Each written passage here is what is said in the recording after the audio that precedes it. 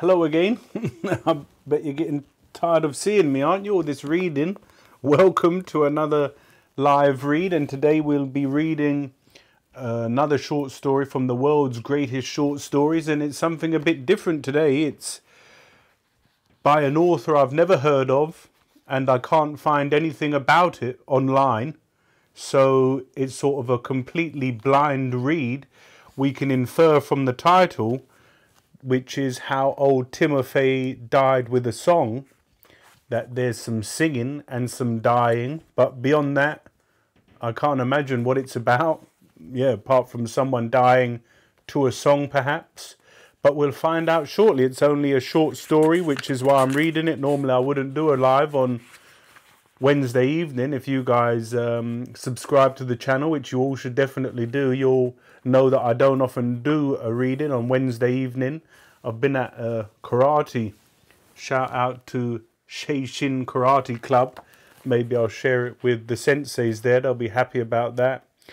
And so it's quite late for me, but again, a very short story.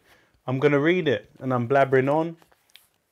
And as always, subscribe to the channel Share the show with your friends, and there's ways to support in the channel. And as always, Audrey C has been very generous supporting the channel big style. So thanks, Audrey. And yeah, let's get into this short story. Again, going in blind. Let's see what it's about. How Old Timofey Died with a Song by Rainer Maria Rilke, Germany, 1900. So at the turn of the century. What a real joy it is to tell stories to a paralyzed person. Healthy people are so unreliable. They look at things now from one viewpoint, now from another. And after you've been walking with them for an hour and they've always been to the right of you, they sometimes answer you from the left all of a sudden, merely because it occurs to them that it's more polite and shows better breeding. With a paralyzed man, one need have no fear of that. His immobility makes him resemble inanimate objects with which he actually has manual, many cordial relationships. It makes him, so to speak, an object far superior to all the rest, an object that not only lis- that not only listens with its taciturnity, but also with its very few quiet phrases, and with its gentle, respectful feelings. I like best of all to tell stories to my friend Ewald, and I was very happy when he called me from his daily window. I must ask you something. I walked over to him quickly and said hello. What is the source of the story you told me recently? he asked. Did it come from a book? Yes, I replied sadly. The scholars have buried it in one ever since. The, schol- the scholars have buried it in one ever since it died, which isn't very long ago. A hundred years ago it was still alive and certainly quite carefree on many lips, but the words that people now use, these heavy words that are hard to sing, were hostile to it and stole one mouth after another from it, so that finally it lived on, but very withdrawn and impoverished, only on a few dry lips, as if on a poor widow's farm. There it also died without leaving any descendants, and as I mentioned, was buried with all honours in a book where others of its lineage already lay. And was it very old when it died? my friend asked, picking up a metaphor picking up my metaphor. Four or five hundred years old, I reported truthfully. Several of its relatives have attained an immeasurably greater age. What, without ever reposing in a book? Ewald asked in surprise. I explained. As far as I know, they were, they were journeying from mouth to mouth the whole time. And they never slept?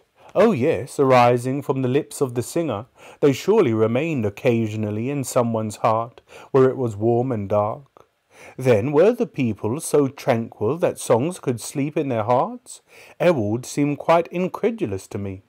It must have been that way. It's claimed that they spoke less, performed slowly accelerating dances that had a cradling motion, and above all didn't laugh loudly the way you can often hear people do today, despite our universally loftier social graces. Ewald prepared himself to ask another question, but he repressed it and said with a smile, I keep on asking things, but perhaps you have a story in mind. He looked at me expectantly. Cheers.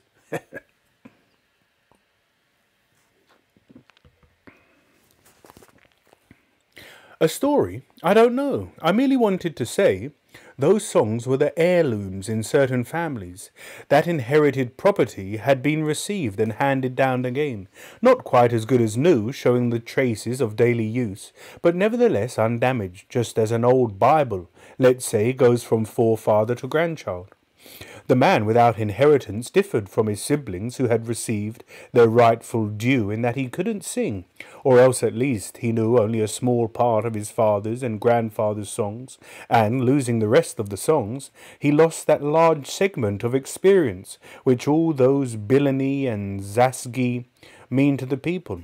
And so, for example, Yegor Timofeyevich, excuse me, Yegor Timofeyevich had married a young beautiful woman against the wishes of his father, old Timofey, and had moved with her to Kiev, the holy city, in which the tombs of the great martyrs of the Holy Orthodox Church have gathered. His father Timofey, who was reputed to be the most knowledgeable singer in a radius of ten days' journey, cursed his son and told his neighbours that he was often convinced that he had never had one. All the same, he grew mute in his grief and sorrow, and he rejected all the young men who crowded into his hut in order to fall heir to the many songs that were shut away in the old man, as in a dust covered violin. Father, little father of ours, just give us one song or another. You see, we'll take it to the village, and you'll hear it from every courtyard as soon as evening comes and the cattle have become quiet in their stables. The old man, who constantly sat on the heated platform, shook his head all day long. His hearing was no longer good, and since he didn't know whether one of the lads who were now forever listening around his house had just made another request, he would signal no, no, no with his trembling white head until he fell asleep, and even kept doing it for a while in his sleep. He would gladly have done what the lads wanted. He himself was sorry that his mute, dead dust would lie upon these songs, perhaps very soon now. But if he had tried to teach one of them anything, it would surely have reminded him of of his Yegorushka, and then who knows what might have happened, because it because it was only his perpetual silence that kept anyone from seeing him cry.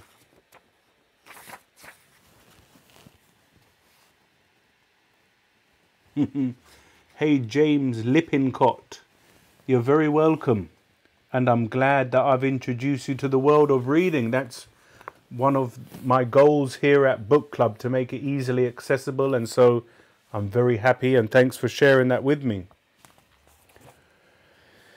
Behind each word of his, of his lay a sob, and he always had to shut his mouth very quickly and carefully to keep it from escaping at the same time.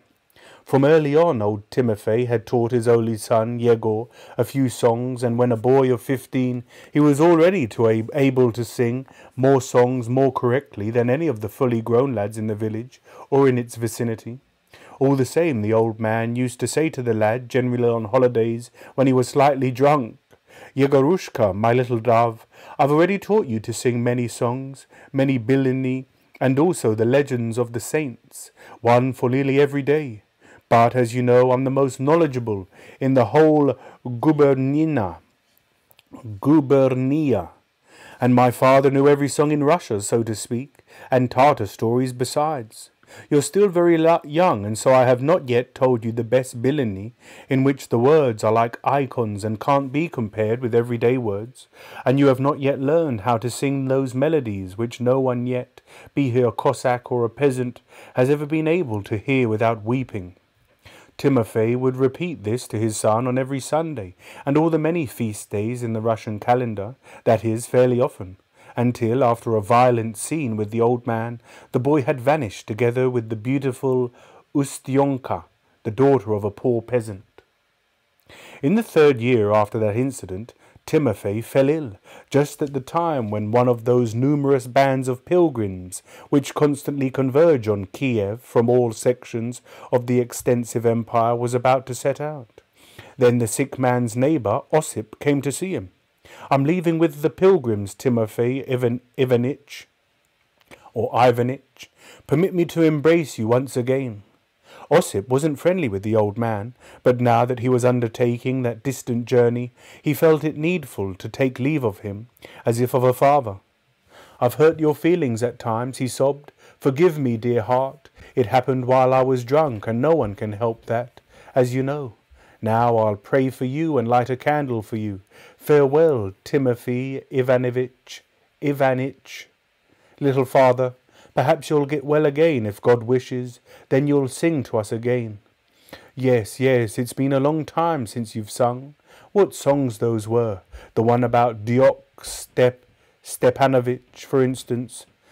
Do you think I've forgotten it? How foolish you are! I still know it all by heart. Of course, not like you. You really and truly know it. I've got to say, God gave you that. To another man, he gives other gifts. To me, for example,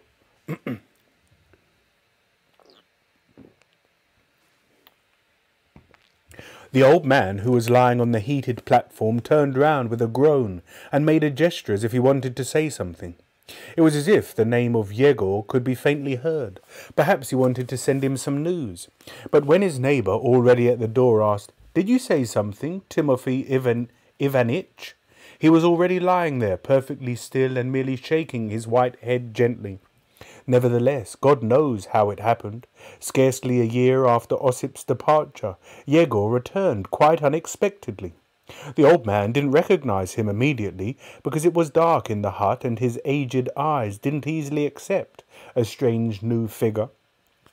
But after Timofey heard the stranger's voice, he became alarmed and leaped off the heated platform onto his shaky old legs. Yegor caught him and they hugged each other. Timofey was weeping.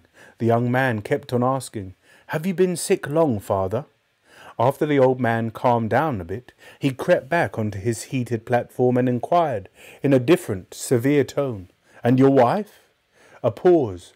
Yegor spat out the words, I've chased her away, you know, along with the child. He was silent for a while. Ossip came to see me once. Ossip Nikiforovitch, I said. Yes, he answered. It's me. Your father is sick, Yegor. He can't sing any more. It's completely quiet in the village now, as if no one had no more soul, our village. No one knocks, no one budges, no one cries any more, and there's no real reason for laughing either. I thought about it, what was to be done, so I called over my wife. Ustyanka, I said, I must go home. No one else sings there any more. It's up to me. My father is sick. All right, said Ustyanka. But I can't take you along, I explained to her. As you know, my father doesn't want you, and I probably won't come back to you either once I'm back there singing. Ustyanka understood me. Well then, God go with you.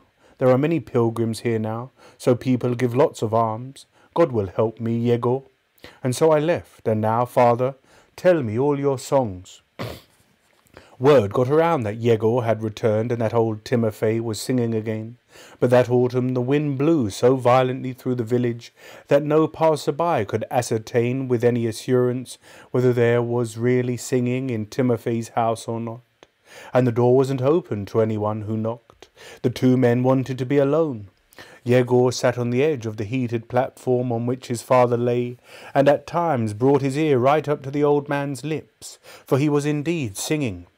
His old voice, somewhat stooped and trembling, carried all the best songs over to Yegor, who often waved his head or moved his dangling feet, exactly as if he were already singing them himself. Things went on that way for many days. Timofey kept finding some even lovelier song in his memory.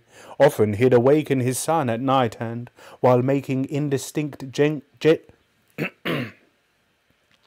and while making indistinct gestures with his withered, twitching hands, he'd sing a short song and then another and yet another until the lazy morning began to stir.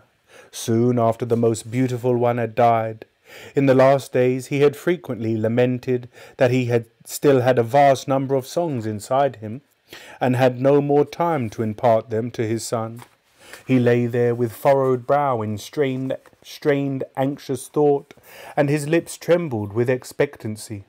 From time to time he sat up, waved his head to and fro for a while, and moved his lips, and finally some quiet song was added to the sum.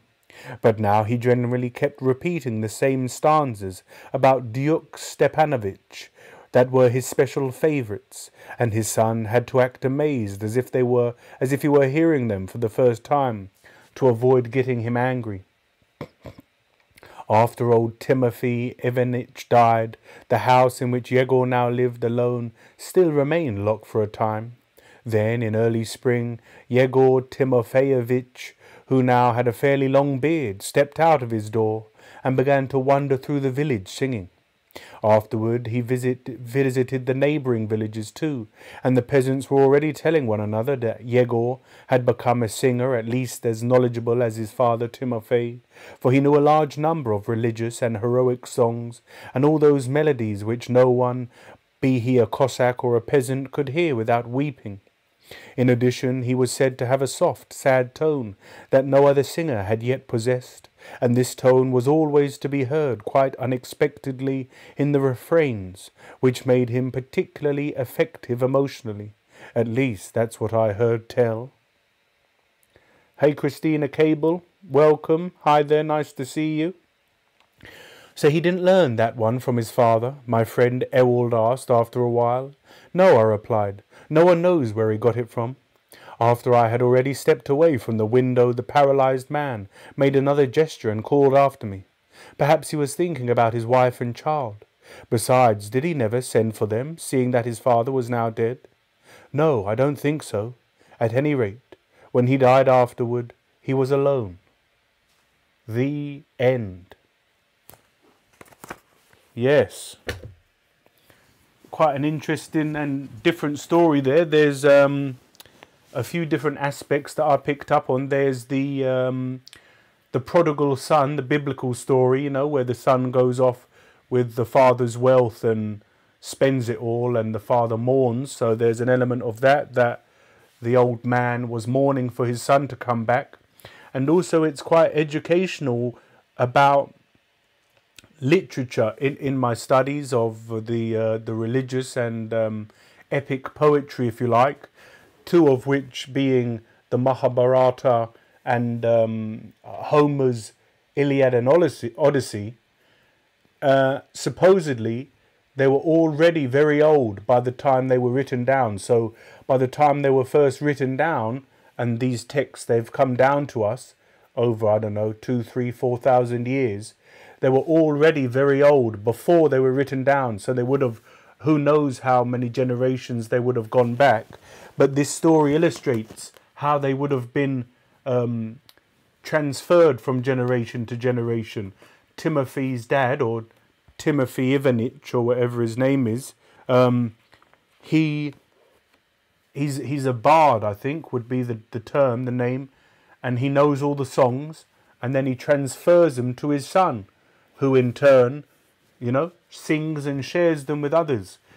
And then at some point in history, someone would have started writing these things down, and that's how that's how we have all these great epics. That's how we have the the Bhagavad Gita, all of Plato's works, um, Homer's Iliad and Odyssey, and Euripides, and all these other amazing classics, because someone wrote them down. Thankfully, otherwise, you know, who who would have who would have known them if yeah maybe there'd be some tradition somewhere that is um, you know sharing them.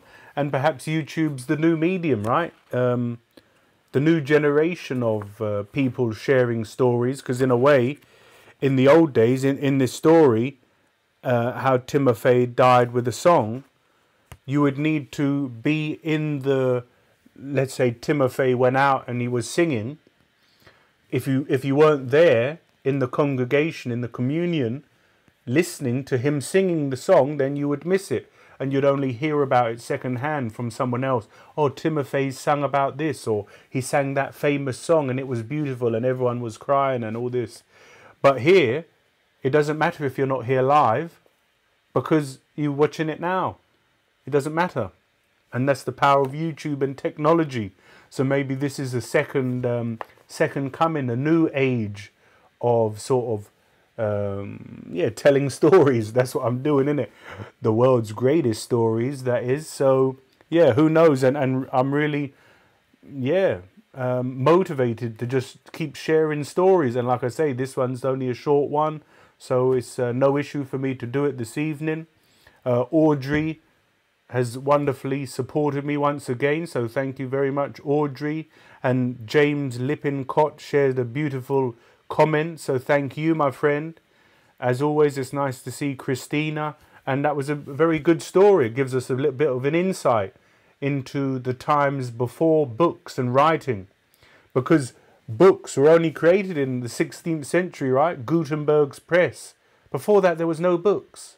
Imagine if you lived in the 1500s, you lived in 1510. There's no books. No books. The church had the Bible and they would tell you what it said. No one's reading the Bible. No one's reading anything because there's no books. So it's crazy to think of the history of books. I often think about doing a video, but yeah, it would be very uh, difficult, I think, to, to do. But who knows? If you're interested in that, let me know in the comments. But that's all for now. We'll be back tomorrow. I'm very excited for tomorrow's read. It's going to be Seneca's On the Shortness of Life. So I think if we all can get through that and take away the lessons, we'll realize. I think his famous quote is It's not that man doesn't have enough time, it's that he wastes a lot of it. Or that's paraphrasing. It's at the end, it's the last quote at the end. And I think that's true. If we didn't waste any time, I think we could achieve all of our goals, but procrastination's real, isn't it, guys? It's not so easy. But I'm rambling on, so I'm going to say bye. Otherwise, I'll just sit here all night chatting away to no one. But anyway, thanks everyone for joining me. Try and make tomorrow because I think it's going to be uh, pretty profound. So I've never, I've read it a few times, but not for many years. So I'm excited to revisit it, and I hope you'll be able to join me and we can take away the wisdom and lessons within it and incorporate them into our own lives. So, guys, I'll see you tomorrow. Look after yourselves, take care, and I'll see you soon. Bye, guys. See you.